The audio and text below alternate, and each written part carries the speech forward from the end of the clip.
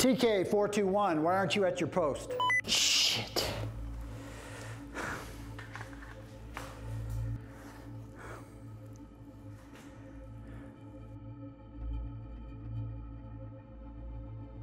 Hello? Sir, it's Coop.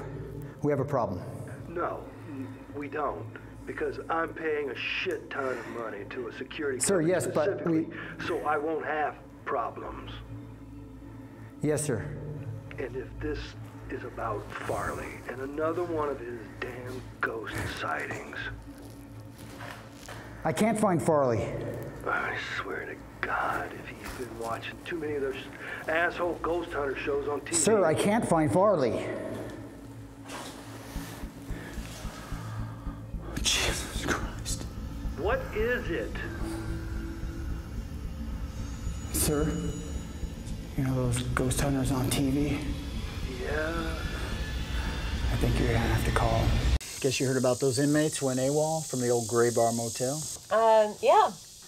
Uh, they catch him yet? Not yet. We're just doing a door to door. Got a $10,000 reward out now. Marshall's got roadblocks, searching the woods and such. Say, where's Stewart? Uh, he's asleep, Kirby. You got company?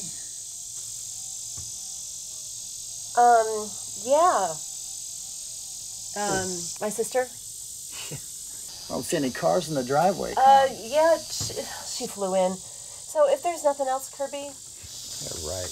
Well, if you see anything out of the ordinary, or if you get lonely, call me. Okay. Bye, Kirby. I can only tell you what I know.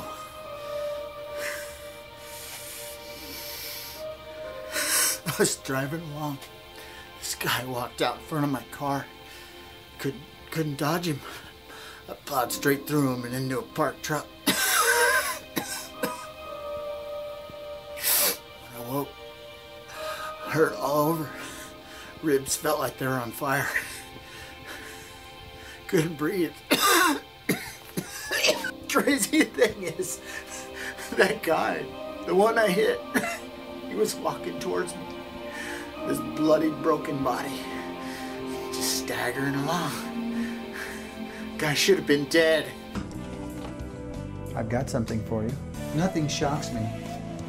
I can be so hard to handle, I've had worse. Mm-hmm. but you've never had better. I don't know. Hmm? As a scientist, I'd hate to prejudice my experiment. I'll let you know in the morning. Shoot, I, I didn't cock it. Calvin, Hold on. Connie, smile. Calvin, Just a second, smile. Calvin, give me the camera. No, I haven't got the picture yet, Beth. Calvin, Dad, give me just the give her camera, the please. camera, okay? Just- I really want a good picture of the two of you. Does she look familiar to you? Mm, not from this side. I think that was a girl from the office today. She's got different color hair, though.